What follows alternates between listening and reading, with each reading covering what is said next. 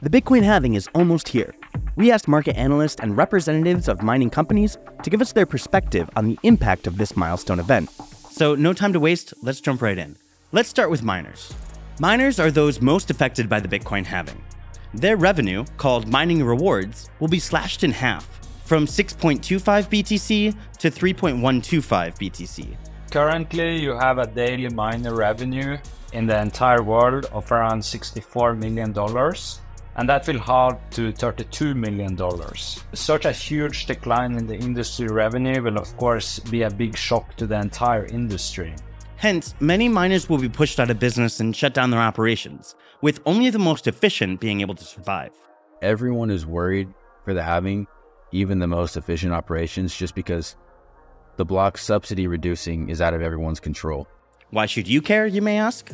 Well, because miners guarantee Bitcoin's fundamental properties, namely security and censorship resistance. By producing a large amount of computational power, or hash power, Bitcoin miners make it incredibly difficult for anyone to manipulate the Bitcoin blockchain. By the way, if you want to know more about how the halving actually works, check out our video for beginners in the description. Now, some say that with block rewards decreasing every four years with the halving, miners will have less and less incentive to secure the blockchain. Some say that could pose a long term risk to Bitcoin, which could become increasingly vulnerable to the so called 51% attack, which is when a single entity gains the majority of the Bitcoin hash rate and therefore can attack the network. But let's not panic. Since the halving is an entirely predictable event that happens about every four years, miners have had time to prepare. Some have been upgrading their mining rigs, making them more efficient. In order to fund these upgrades, many miners have been selling large amounts of their BTC reserves, taking advantage of the latest Bitcoin rally. Other miners have moved older, less efficient equipment to areas with cheaper electricity. If you continuously have to upgrade your machine to have the last machine in order to be profitable, it means that you're actually paying too much for your electricity. Therefore, the only real long term viable way of building a mining operation is having access to extremely cheap electricity. You have to go uh, into, for example, uh, Africa to find that. So, HashLabs Mining, we are expecting to accommodate a lot of these machines in Africa to give them a prolonged life. We'll see a lot of miners um, start to diversify energy wise. A lot of miners are going to migrate towards stranded energy. They go to landfills and they'll use that the trash for mining Bitcoin. Other mining firms are using the halving as an opportunity to win market share over less efficient competitors. For example, Marathon Digital has announced its plans to use its $1 billion strong balance sheet to double its hash rate, bringing it to 50 exahash by the end of 2025.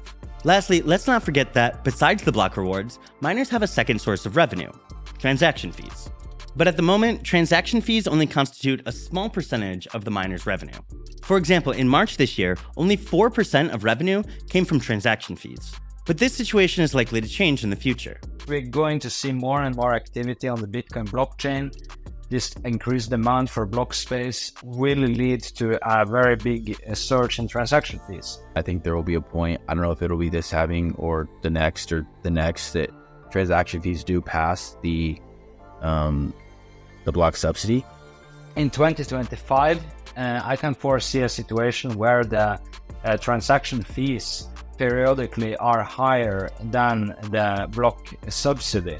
One of the reasons why transaction fees are likely to increase in the future is the emergence of ordinals, or NFTs on the Bitcoin blockchain. This new Bitcoin use case has gained traction in the last year and a half, significantly boosting transaction fees on the Bitcoin blockchain. Thus far, ordinals have generated approximately $240 million in transaction fees, and this trend is growing. So even though the, the halving uh, will decrease mining profitability, I still think and the hash rate will continue to increase. I don't think we will see a very large drop in hash rate after the halving. Maybe around 10% or less. Finally, the widespread expectation is that Bitcoin's price will increase significantly in the months following the Bitcoin halving which should compensate for the diminished rewards in terms of block subsidies. If you're selling 100% of your Bitcoin to cover your expenses and your capital expenditures, and the Bitcoin price doubles, well, now you only need to sell 50% of your Bitcoin to get the same amount of dollars.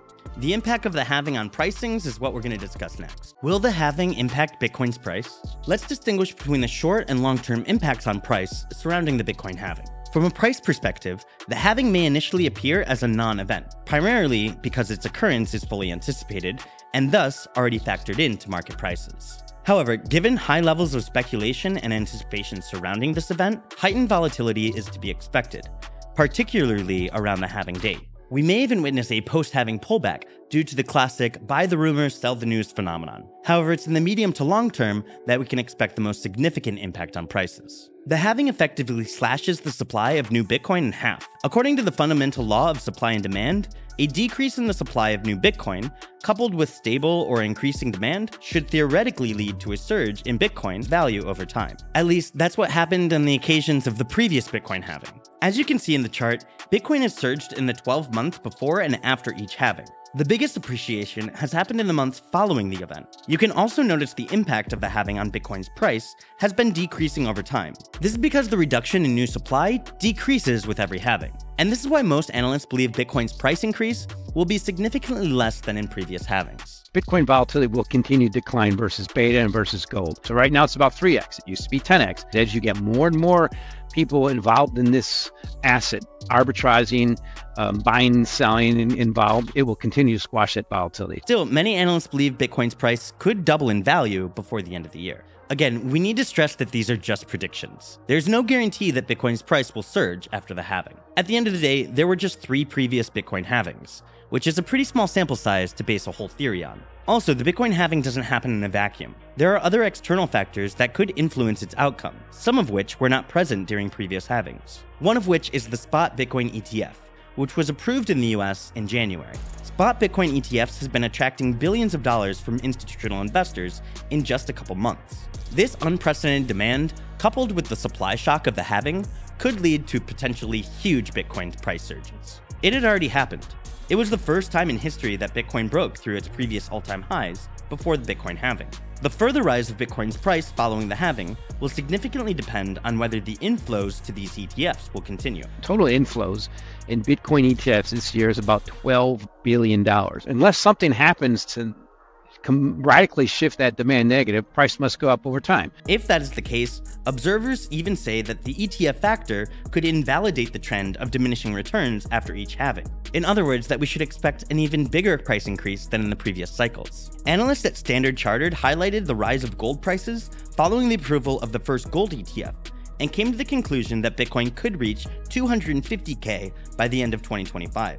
The big picture of the economy is another factor that will determine Bitcoin's price after the halving. In the past, post-halving rallies happened when there was a lot of money floating around the global economy, which was good for risky investments like Bitcoin. For example, the last halving occurred during the COVID pandemic, when governments were pumping lots of money into the economy to help it recover. But now things aren't the same. There's not as much money floating around globally, and the Federal Reserve still has interest rates quite high. The key thing I'm concerned about is a backup in beta and the impact it'll have on Bitcoin. If you look at 10 year old yields in the US, they're 4.3 or so.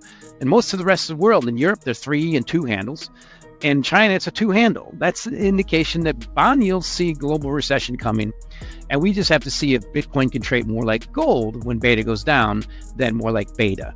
And I suspect with a high volatility, it's still at risk of a, a, decent drawdown. Regardless of what the impact on prices might be, the halving remains one of the properties at the core of Bitcoin's fundamental value. It's the foundation of Bitcoin's unalterable monetary policy. Unlike traditional fiat currencies, Bitcoin operates on a fixed supply schedule with a maximum cap of 21 million Bitcoins. This property positions Bitcoin as a potential hedge against currency devaluation and inflationary pressures. In fiat currencies, what you have is essentially a regulated monopoly.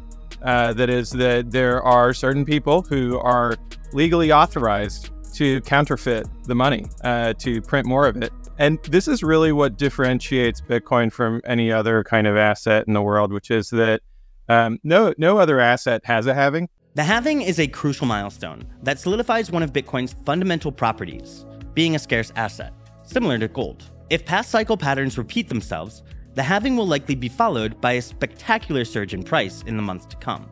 Despite the initial shock, miners will likely adapt to reduce revenues by improving hardware and relocating to areas with cheaper electricity. However, history doesn't always repeat itself. Factors such as Bitcoin ETFs, the rise of ordinals, or different macroeconomic conditions could lead to different outcomes this time. Therefore, let's be prepared for all the different possible scenarios. If you enjoyed our content, consider giving a like and subscribing to the channel. I'm Max, and we'll see you next time.